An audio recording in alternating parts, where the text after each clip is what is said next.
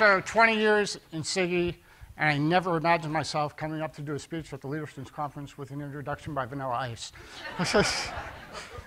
I'm going to talk to you today about collaboration. Um, I work at an agency, National Science Foundation, where we've done a really good job with this. Um, 20 years ago, when I joined the IG, approximately 20 years ago, lose track of time after a while, um, I thought to myself, coming out of the Army, hey, I'm going to join the IG. This is great. And the IG and the Army, they had a lot of power, and everybody listened to what they said. But I got here, and I found out that, hmm, not quite the same. Uh, sometimes the auditees didn't agree with our findings. A lot of times they didn't agree with our findings. And sometimes we found we didn't even agree with ourselves. This was really, really a problem. So 20 years later, I think things are starting to change. So imagine a world where the agency implements a recommendation even before you finish the audit work, or where the agency response says, thanks so much for your work. We really like your recommendations, we're going to do them. Or the exit conference is an open discussion where you can actually come to resolution and get them to move forward on your findings. Does this sound like a dream world? Unattainable? How do you create such an environment? How many of you would like to work, by show of hands, would like to work in this kind of environment? Sorry, we're not hiring. but I'm going to hopefully give you some tools today to help you move towards that world. Today I'm going to tell you a story about an agency that's on that path. And even though we're a science agency, we're not getting there on an Elon Musk rocket. We're doing it by hard work. It's all about creating an environment of shared visions and outcomes, trust, and open communications. Okay, let me be honest about this. I've only been at the agency about two years, so a lot of this work preceded me. A lot of people did a lot of effort and a lot of heavy lifting um, before my time. I just had to get people to come into the water. Okay, well, maybe it wasn't always that easy. Um, it really started with self reflection. The, back then, the folks took the time to sit down and think to themselves, what is it that we're doing or we're not doing that can make the OIG more effective? How can we work better with the agency? What can we change to better do our job as stewards of the taxpayers' money? it went like, sorry, set up the story a little bit. NSF is a grant making agency, as a lot of people in the room know. Um, the OIG's work, especially from the audit side, we focus some on the internal and a lot on the external, the grantees. On the grantee side, the agency is responsible for oversight and resolution of the findings. So our process kind of went like this. We'd go out, we'd do audit work, we'd write a report to the grantee, we'd talk with them, we'd get buy-in on the recommendations, and then we'd turn the resolution process and the oversight back over to the agency. The agency would take this resolution, our, our reports and our recommendations, and sometimes months later, we'd finally get a resolution memo. And what happened at that point? There was no communication all the way along, and all of a sudden we had this resolution memo, and guess what? We vehemently dis disagreed with their solutions. Surprise? No, because there was no communication. What we had was frustration, distrust, anger, and it was not a productive environment. there were threats, there was anger, there was bullying, there was failure to fix really identified issues.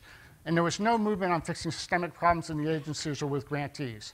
So from our perspective, both the IG and the agency were failing at their mission. We had an environment that created us versus them mentality, different expectations and different definitions of success. People went around the process, would jump right to the top and try, instead of trying to work through things. And we were fighting the same battles over and over again. And although the problem focused on the external audits, the attitude and the relationships permeated the agency. And I wasn't here at the time, but from what I heard, there was a lot of conflict and a lot of unproductive activity. And even though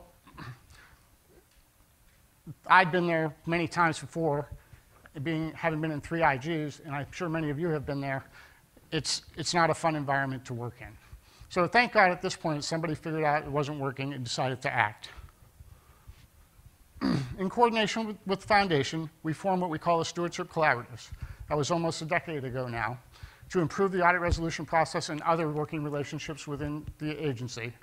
And there was, there was a realization at that time that we needed to present one face, one federal government, one stance with the grantees. The last thing you want is the grantees to hear two different positions, the OIG position and NSF position, because they're very good at using that against you, especially in a small community like NSF where there are a lot of universities who talk to each other. So what do we do? We set standards, communication, especially the face-to-face kind where things really get done. We set standards for collaboration.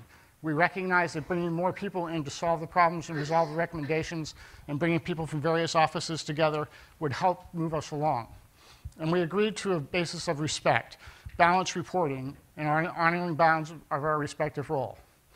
This was a two-way street. It wasn't just the OIG. We had to get buy-in from NSF as well as we had to open up to be open to the idea of working together. The hope was to increase flexibility in resolving our audit findings, advanced coordination of findings so no surprises, we get early buy-in, and a joint focus on the improved program performance. Under that, directly with, with audits, we formed the Audit Resolution Working Group with members from both OIG and NSF. We described how we wanted to work together. We moved from commitments to agreements and ultimately to action. And we documented these agreements in writing. So we set some basic ground rules. Separate the issue from the, from the person. You know, don't make it personal. Solve issues at the lowest possible level. Don't escalate unless you really need to. And when you do have to escalate, make sure you're communicating and letting people know why are we moving this up and why we can't get agreement. NSF in turn agreed to more open access to OIG staff and to their systems. And OIG agreed to provide more data, more context to its findings, and help the agency better understand the problems. So what makes this all work? Well, we have monthly standing meetings to this day, and we discuss ongoing work between the OIG and NSF.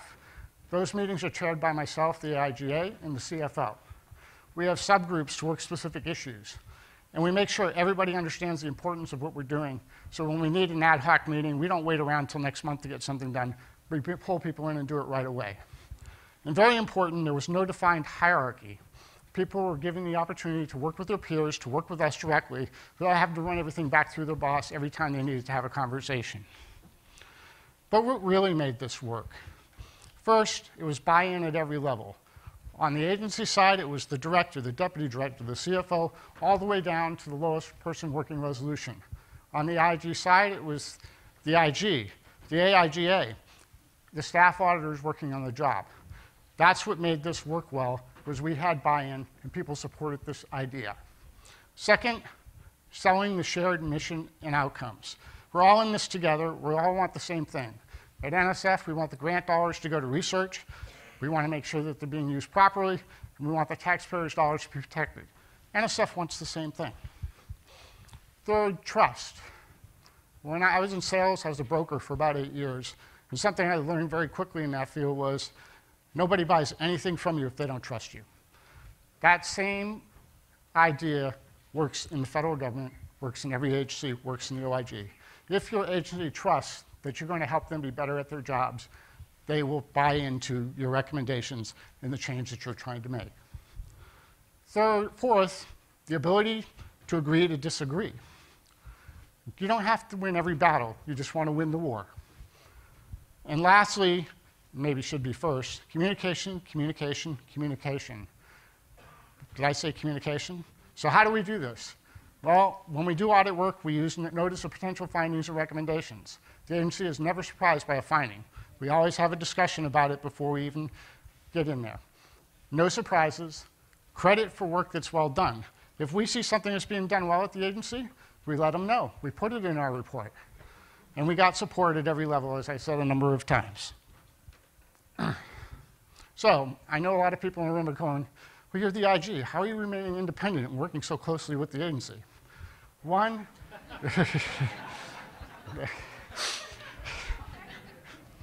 We never make management decisions. The ultimate course of action belongs to the program and the agency and management. We only care that what they decide to do truly addresses the issue. Secondly, we use the process. We take every step required by GAGAS, IG standards.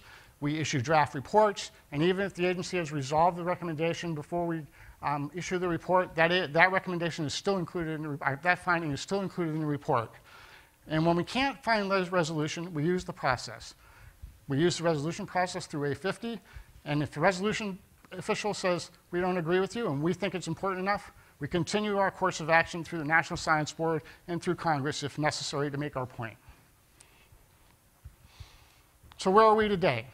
We continue to expand our efforts. Right now, we're in an effort to get the grantee community involved in this, in this collaborative relationship. We do outreach at community, community conferences. Uh, recently, we published an article in a community um, magazine, a joint article with NSF, des- describing our complementary roles and how we work together and what they can expect to hear from the IG and what they can expect to hear from NSF. this has helped the, the grantees look at us differently in the way they view our work and made them receptive to our findings and recommendations. Not all of them. We've got to bring more along. Ultimately, we're getting better outcomes. We're also learning and sharing in the OIG community. We work on groups with data analytics, grants best practices. We establish working groups within NSF OIG to work problems out. We include our investigators, believe that or not. At NSF, the investigators and the auditors work together to solve these problems. And when we find something that works, this is really important, we share. We don't just share within the OIG, we share within the OIG community, and when it's going to help the agency do their job better, we share it with them. In closing, what we've done is create an environment of shared visions and outcomes, trust, and open communication. So what we're doing is imagining and creating a world where the agency implements its recommendations before you even finish the audit work, where the agency response is, we love your work, thanks for making the recommendations, and where exit conferences are a pleasant discussion that come to resolution. But I think there's somebody that can uh, sum this up a little better than me. Always with you what cannot be done. Hear you nothing that I say. You must unlearn what you have learned. All right, I'll give it a try. No, try not. Do or do not. There is no try. Thank you.